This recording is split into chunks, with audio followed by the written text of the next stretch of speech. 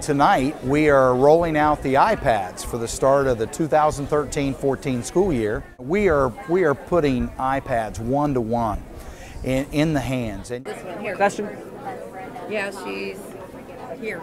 Okay. Um, I think tonight justifies with all the help that students need to set up their accounts. It justifies exactly how much this technology is needed. There are some students that are not spelling their email correctly, and so they can't verify their account.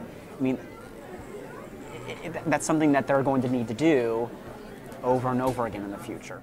I think our kids tune out an awful lot because they aren't used to not having moving pictures and they aren't used to not having technology at their fingertips a lot. This is going to keep them more engaged. This is how they learn. They're different than we were. we put iPads in the hands of every teacher over a year ago and told them to get ready.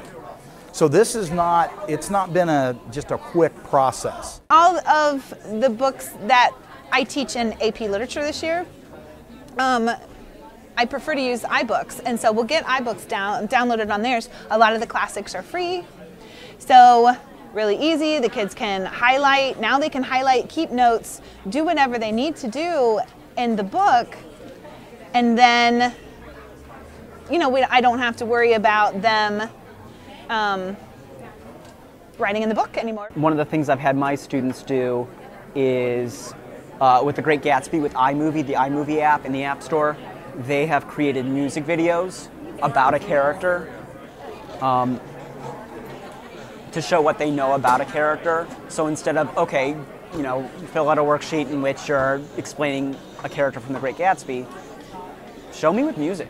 I know it'll help me keep better notes because I have naturally sloppy handwriting and it's a better opportunity for me to stay organized and stay connected to school outside of school, working from home on assignments that teachers will give me. This is a, really a, a historical event here at Lancaster High School.